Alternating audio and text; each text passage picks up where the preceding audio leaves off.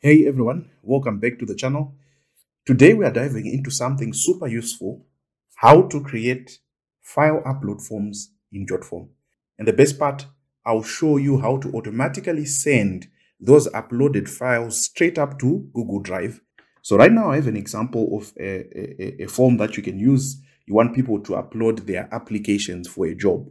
The part that we are looking for is the file upload. So let me show you how to put this file upload there. You go to the elements and then you scroll down to find file upload. Then drag it and put it below it says cover letter there. Now there are several things that we can change to make sure that it works exactly as we want it. All you have to do is to go to the properties. First of all is the file label. Maybe you want it to say specifically CV upload. Once you write that, as you can see, it changes here. Now people know that they have to upload their CV there.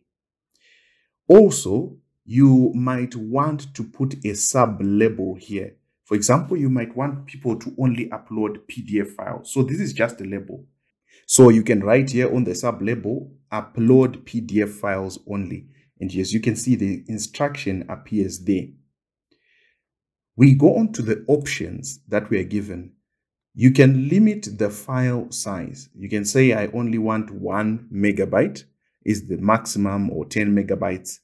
In this case, let's leave it as one megabyte from zero to one megabyte.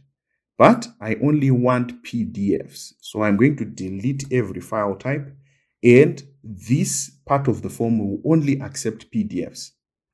Once we do that, we go to where it says multiple. In this case, we only want a person to upload only their CV. But if we wanted them to upload multiple files, we can specify the number of files to say we want three files as the maximum number of files. The advanced there also gives us an option to change the wording that we have here. We can say browse CV. This gives an instruction to show the person what they need to click on for them to upload their CV. Hover text is only text that appears whenever we hover our mouse on it. In this case, we don't need that at this moment. So this is how you actually set up the CV upload. However, there is an extra function that then makes life easier for you to organize and to back up the information that you have you might want to add this information into your Google Drive. So how do you do that? All you have to do is to go to settings. When you go to settings, you go to integrations. And on integrations, you choose Google Drive. You can also do the same with Dropbox, but I'm just going to use Google Drive as an example.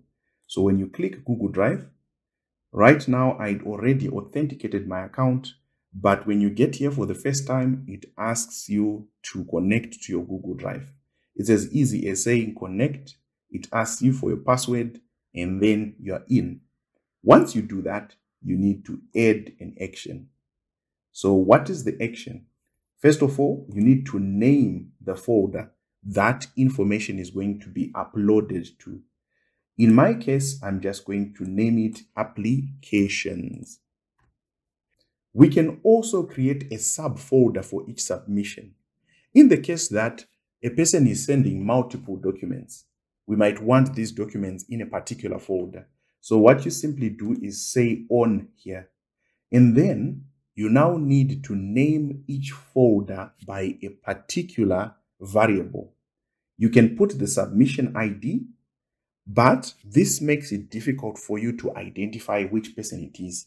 Now, when we're talking about this, we're talking about the naming of the folder. So you definitely see the submission ID at the first day, but I would also want to have a form field such as the name of the person. Uh, we can even have uh, the email address, phone number, but just for identification, the submission ID and the name on the folder name will help. So when someone makes a submission, Notice that we are capturing these details from them, including the cover letter. We can actually ask the system to convert that into a PDF and also send it into that folder. So you can say default, send that submission. However, what we really want here is to be able to send the CVs as well. It is uploaded into the Google Drive. Once we do that, we click Save. Now, we're going to take a look at an example that we're going to do so that you see how this all comes out in a Google Drive. So to do that, let's do a test of what we have. We're just going to fill in information of a person who's applying. I filled in information for a person we can call Tom Doe as an example and uh, the person's information. Now we want to test the CV upload. So what we do is we just click on this one and then we go to the desktop. We take the person's CV and it's uploaded. Once we do that, we click submit and that's done. If you go into my Google Drive, you'll notice that there is a folder called applications. And if I open that, you'll notice the reference number of the submission and the name of the person. If we open, we'll see that there is the person's CV and also the submission information that we actually put through. You now know how to create seamless file upload from JotForm and automatically send those files to Google. So if this helps, hit that like button, subscribe, and drop a comment below if you have any questions. If you want to start using JotForm today, click my affiliate link in the description below to sign up and you will see that there's going to be a discount mentioned there. Start building your own powerful forms. Let's work smarter not harder. See you in the next one.